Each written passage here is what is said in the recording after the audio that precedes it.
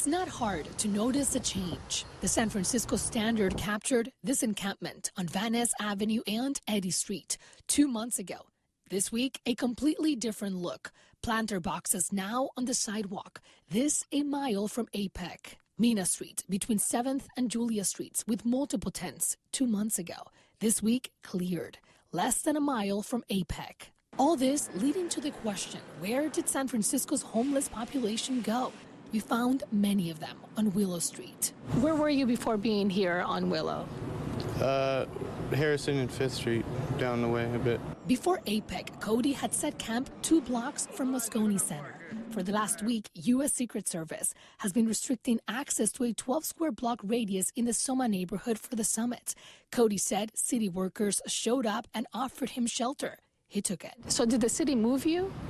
Uh, yeah, pretty much. You know, I mean, they tell you they'll block off certain streets and stuff and have tell you to keep going. St. Anthony's has been keeping track of the need for shelter in the Tenderloin. It has seen an uptick this week. So a month ahead of APEC, what did you guys notice? Uh, approximately about a month before APEC began, there was an uh, intentional uh, engagement with the city and uh, homeless uh, people experiencing homelessness in South of Market. In a statement, San Francisco's Department of Homelessness acknowledged that when events like APEC take place, efforts change, saying, quote, we want to put our best foot forward. Dedicated outreach efforts will be focused on the conference vicinity and offering safe places for people experiencing homelessness will be priority. Uh, many of the folks who are, who are staying south of Market on the street have been asked to relocate. And many of those people who were asked to relocate were offered shelter. Businesses in the Tenderloin are glad more homeless individuals are now in shelters but are concerned of what will happen once APEC is over.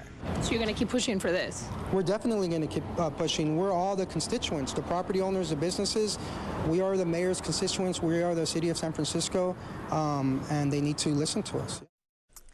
And San Francisco's homelessness department said that even though there was no special shelter capacity for APEC, the city did open winter shelter on the same day APEC started in San Francisco, adding about 300 beds to the shelter system.